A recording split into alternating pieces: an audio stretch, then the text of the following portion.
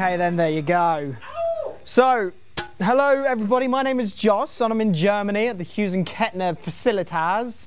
Um, checking out this Black Spirit 200. Now, I've already done an unboxing of it and everything like that, but I wanted to specifically talk about the lead channel.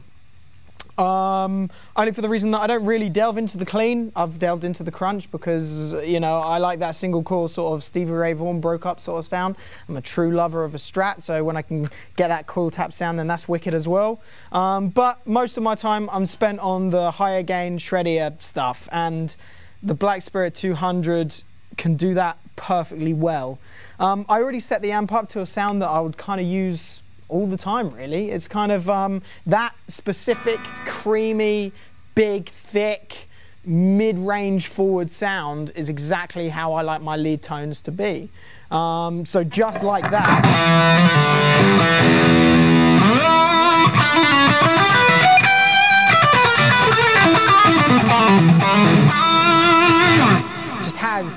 That big. I mean, the sag I've got on full actually, um, only because I wanted that cranked Marshall JMP JPM sort of uh, 100 watt sort of thing that it, it, does in the in the power amp stage.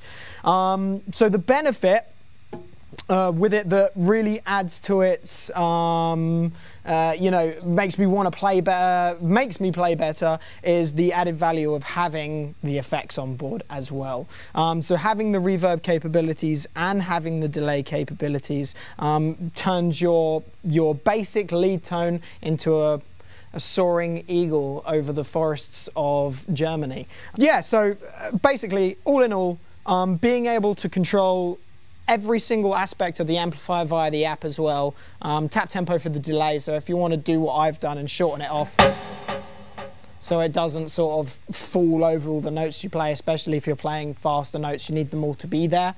Um, so that's another awesome thing as well. Um, but if you didn't want to use the onboard effects, which I definitely would say you should, it does have an effects loop for your, for your pedals as well.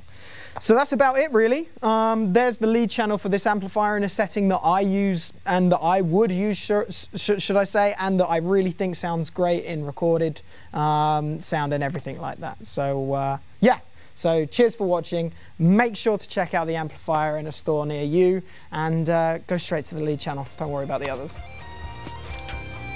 Fantastic.